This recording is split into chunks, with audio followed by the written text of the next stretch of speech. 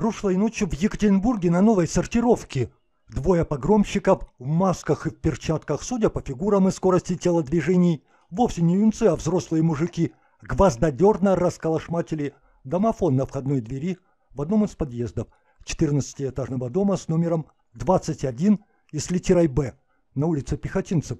Непонятно на что рассчитывали злодеи, пряча лица под масками и скрывая окаянные головы под капюшонами курток – ведь камера, установленная на фасаде дома, зафиксировала все их ночные похождения. Один из мужиков сорвал с доски объявлений клочок бумажки и заклеил им глазок домофонной видеокамеры. Его подельник извлек из-под полы железяку, строительный гвоздодер и вдребезги разбил домофон. Поутру жильцы подъезда оказались в западне. Входную дверь не открыть ни изнутри, ни снаружи. После гвоздодера побоев – Вся электроника вышла из строя, и не обесточив кабель, ведущий к домофонным магнитным защелкам, дверь никак не открыть. А если пожар? Как выбираться из дома? На прошлой неделе починили домофонную панель, а этой ночью пришли взрослые дяди и испортили дорогостоящее имущество.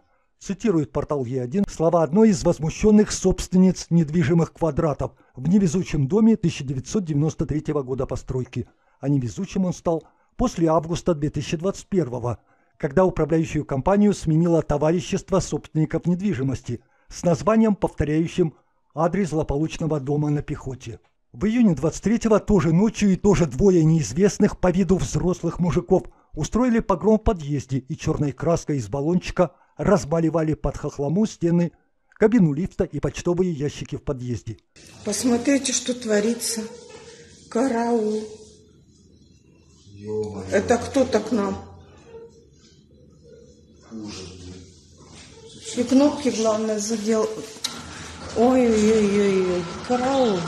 В апреле этого года все повторилось. Такие же черные почеркушки в подъезде. Вандалы несколько раз разбивали домофонную панель, утверждает активистка дома Елена. Жильцы после очередного погрома обратились в полицию. Но отыскать погромщиков и почкунов пока не удается, потому как они первым делом забрызгивают краской глазки подъездных камер – как заявил в комментариях городскому порталу председатель одноименного с адресом дома ТСН Игорь Новоселов, у них такое происходит по нескольку раз в месяц. А это серьезный урон для собственников жилья, ведь приходится все восстанавливать заново. К слову, по словам местных жителей, новая волна подъездного вандализма накатывает после каждого собрания собственников недвижимости.